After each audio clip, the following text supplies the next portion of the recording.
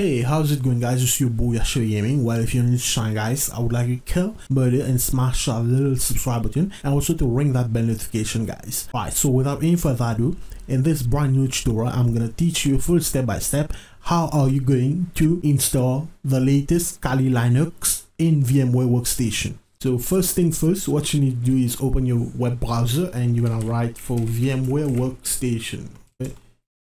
Workstation download VMware Workstation Pro and click this for Windows. Alright. And uh, now go to kali.org. Here you're on the Kali Linux page. Uh, you're gonna click download here. You're gonna click on the installer images recommended. Alright. Not the virtual machine, but installer images. Click here. I have 64-bit. I'm gonna click this and I'm gonna click right here. Okay it's about 3.6 GB alright so installer alright so I'll click this download button the download is in ISO okay so meanwhile this is downloading right here. Uh what I'm gonna do is I'm gonna open this VMware workstation. Let's install this VMware workstation 17 alright so uh, restart Alright guys, I've uh, restarted my PC, my OS. Okay, and uh, yeah, let's try this. Open folder and I'm gonna right click, run as administrator. Yes. And now it should launch the installation.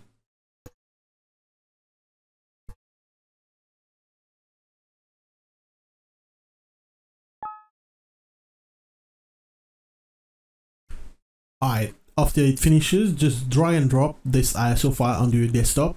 Okay, and now just uh, double click this VMware Workstation Pro and you'll be granted if you have a license key just paste your license key right here but i want you to try it for free for 30 days.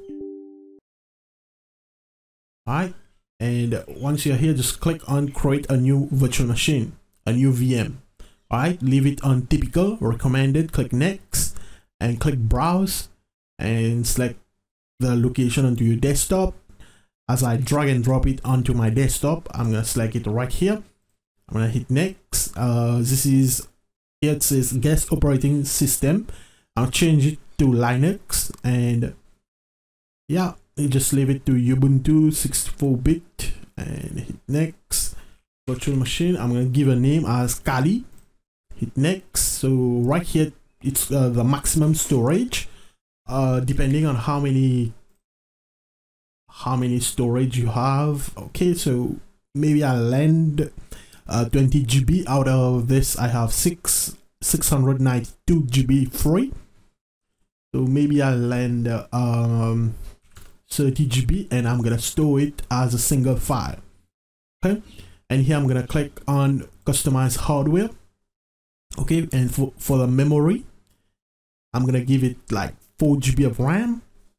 Okay for the processors total processors I'm gonna give it 2 uh printer nope remove that remove printer network it's it's going to uh by default it's going to be on my uh, on my NAT okay on my NAT NAT but if you'd like to bridge and rep, uh, bridge it's going to replicate the physical network connection.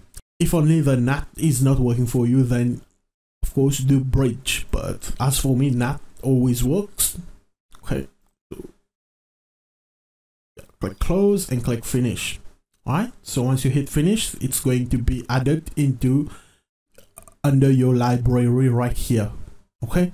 So you're gonna click on power on this virtual machine you do get this so, so first you'll have to boot into BIOS and you'll have to change the BIOS firmware settings. You'll have to enable the AMD-V okay? Okay. This and restart alright as soon as you see the boot menu you wanna spam the F2 button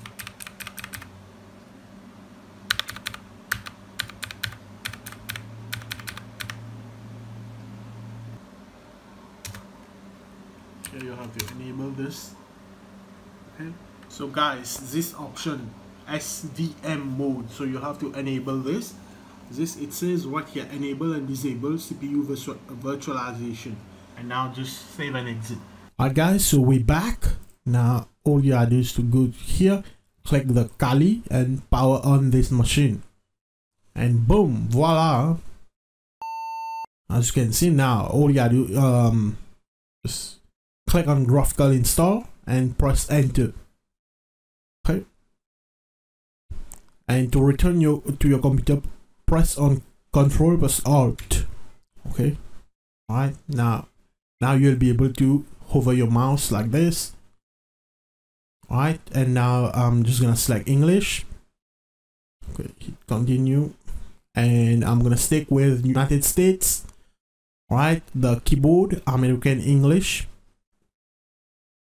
Alright, and now guys, this will uh, begin to install. So all you gotta do, this might take like 10 to 12 minutes. So all you gotta do is to sit tight and wait. Okay, so yeah, up here it says to configure the network. So um, the host name, I'm just gonna leave it as Kali and the domain name. If you have a domain name .com dot blah blah blah, okay, you wanna enter it right here. But if you don't have a domain, just leave this thing blank and hit on uh, hit continue right full name. So enter your account username. So i'm gonna enter mine uh, yashvir gaming. Just like this okay? All in lowercase letter. And enter password.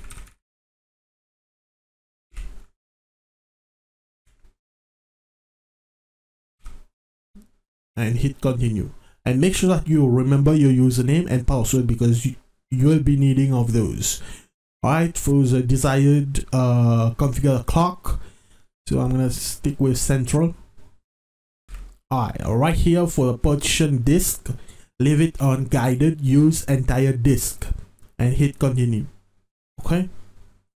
Right here all files in one partition recommended for new users. Right click finish and write changes to disk hit yes and click continue all right right here software selection. I'm gonna stick with the default like using the these tools all right the default de uh, desktop environment but if you'd like to use GNOME and kde plasma you can use that as well. All right so right here install the grub bootloader hit yes. Continue and right here just select this forward slash dev forward slash sda hit continue Alright, so once you're in here, uh, as you can see, finish the installation, press continue to, uh, to reboot. Alright, and don't worry, the system will get automatically uh, restarted. Okay, booting in 3, 2 seconds.